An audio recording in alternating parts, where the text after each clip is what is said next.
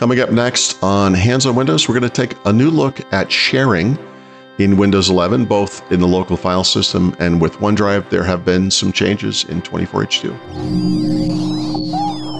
Podcasts you love from people you trust.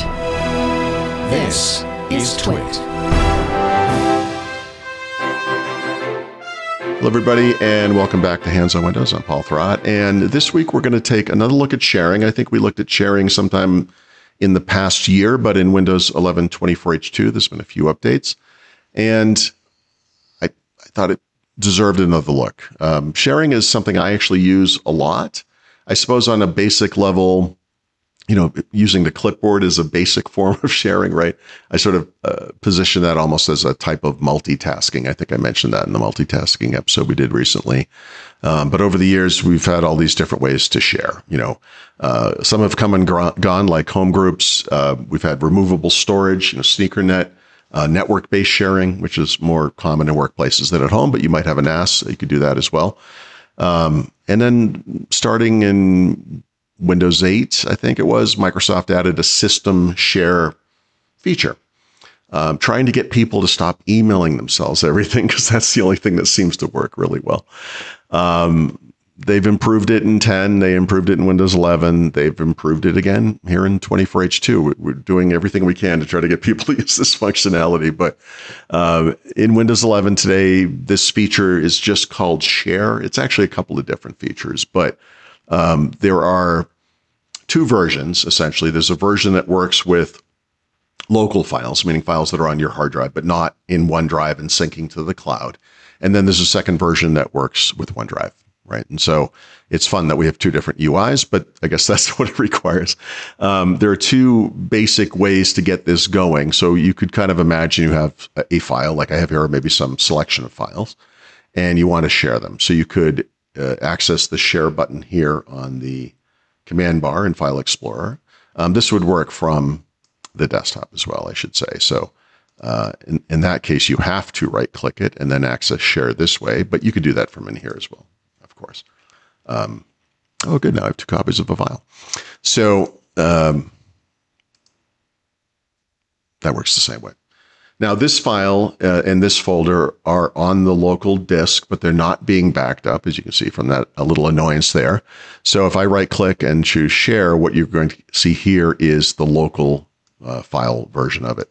So a couple of changes, like I said, in 24H2. The first is that if I click out here, I'm clicking on the desktop, the share window isn't closing. I know that small, sounds like a small deal, but it's actually really easy to make that mistake and then it disappears and you lose what you were working on. So that's kind of actually, that's kind of a cool feature. If you want to get rid of this, you actually have to close it manually now. So I think that's smart. Um, some of the stuff is the same. So you get these contacts. I don't know how they chose these people. Some of these are a little out of date, but uh, interesting and uh, some of them are with the old mail app and some of them are with the new outlook app. But the idea here is that you have some default email app and you have some contacts that you've interacted with a lot and they would appear here. And honestly this is not very good. Um, so that's the same. Uh, a lot of nearby share is the same. We've talked about nearby share. This is a little complicated. You have to work uh, you have to have it enabled on the both computers you want to share from and to or to and from i guess um, so you have to do that. It has to be configured correctly. Um, but it works great. It works over Wi-Fi and Bluetooth. Bluetooth for discovery, Wi-Fi for transfer, but it will just use Bluetooth if that's all you have too, which is kind of cool. Um, and then apps. So we've had apps before, uh, but there have been changes kind of to each of these steps too. So up here you see a copy button. This is to copy it to the clipboard. Uh, this is just a recognition that sometimes people are going to try to share this way, and maybe they're going to paste it into an email app and then just that's how they think about doing things. That's fine. You could share to your Android phone. So in this case, I have connected uh, the Phone Link app in Windows 11 to my Pixel phone. Uh, this only works with Android, by the way. You can't do this with um, with an iPhone, and it will actually copy that file or whatever files you've um, selected to the Files app or to, to, the file system on the phone. So you can copy to your phone this way, right? It's kind of cool. And this is particularly cool because this doesn't require a physical connection. This is going to work over Wi Fi. Um, my phone is not going to, you don't see it. Well, you wouldn't see it here anyway, but uh, in a coming version of Windows, we will see it over here. But for now, you don't. Um, this is just going to go through Phone Link, right? So that's kind of a cool kind of a background feature. And then down here, there's been a few changes as well. So uh, we have these default apps. Uh, what you see here will depend on the type of file you're sharing. So apps that are compatible. Over here, we see an app that Microsoft has manually added. So this is a new thing for 24H2 where they're starting to put links to install compatible apps. So I only see one here, but sometimes you might see two or even three. Uh, and this is Microsoft doing the work um, just to make that compatible. So I'm amused that that's there because this computer is not actually on. so uh, that's interesting. Uh, normally you would just see the ones that are on and available. So I'm not going to click through any of these, but if I were to click on this, uh, well, actually, let's just bring up the little dialog so you can see it. Um, you'll get this this dialog. You get a similar dialog on the other computer. You get to click save or save and open or cancel if you don't want to do it. I'll just cancel it from here, but this will move those files um, across. Okay. So that's local sharing, but I mentioned there was a second half to the share experience, which is OneDrive sharing. So to do that, I will just bring up my OneDrive. I don't, I use OneDrive a little differently than most, but I can go find, I guess I'll find some photos or whatever. A couple of little goofy photos of me. So same thing as before. If I want to share, I can share from the command bar uh, icon up here. I can right click I can ignore this friend request on Xbox um, and choose share this way, right? And so completely different window comes up here. There are actually three different sharing options in here for OneDrive. Um, the first is sending a link. The second is copying a link. And for both of those, there's actually some properties you can look at. And then there's this third one that just says share this link to more apps, which is kind of interesting because when you do that, it goes into the normal share experience, right? So it has created a link, which you can see up here. This is a link to uh, whatever those files are in OneDrive um, with whatever set of properties, which I haven't actually configured. So that's not necessarily the best way to do that. Um, but let's go back and try that again. So I find it's actually better in here just to use OneDrive the way it was intended, right? And so um, with the standard local share, you're actually shuffling files around. In this case, you're providing a web link. Someone will get an email, and then they can uh, click on it and open a web browser, and those files or that file will be available to them with whatever permissions you've established, right? And so, at a high level, uh, you can give them editing capabilities or viewing capabilities. It doesn't mean they're going to edit the version that you own in OneDrive. It means they can get a version of the file that they can edit and change um, if you want them to be able to do that, or they can just view it. Um, but I strongly recommend going into sharing settings, whichever you choose, because there's some additional things down here that I think are actually very interesting, actually up here as well.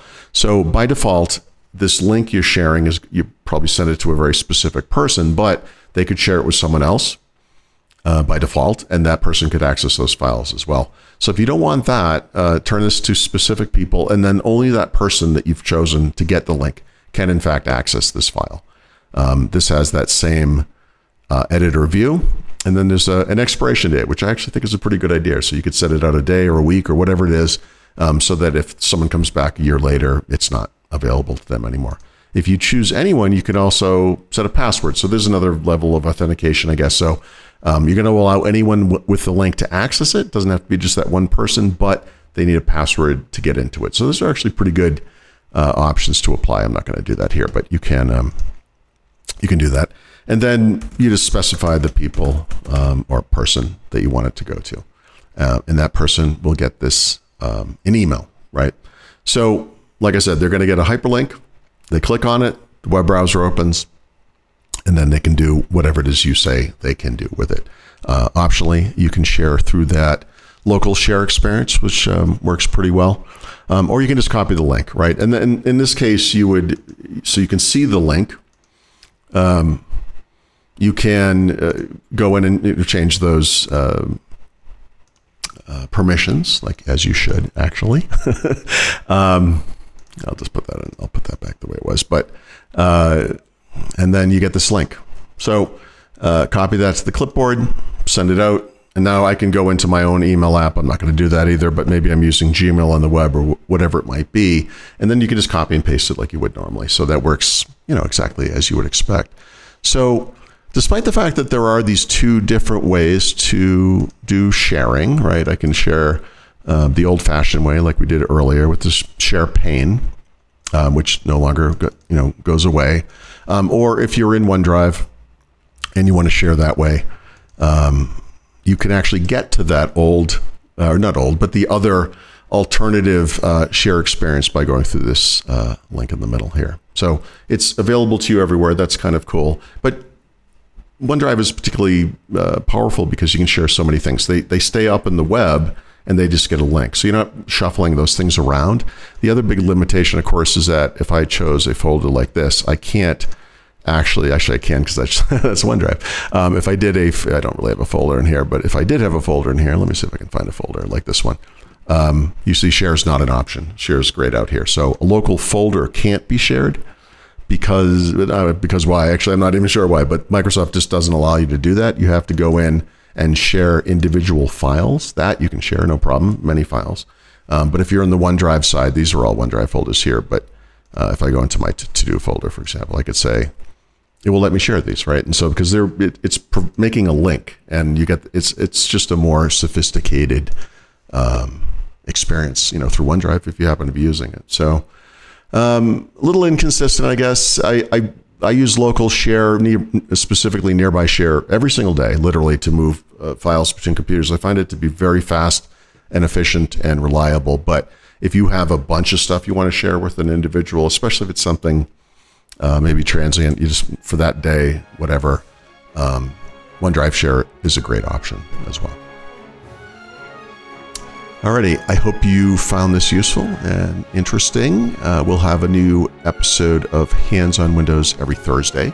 You can find out more at twit.tv slash HOW. Thank you so much for watching. Thank you especially to our club Twit members. I'll see you again next week.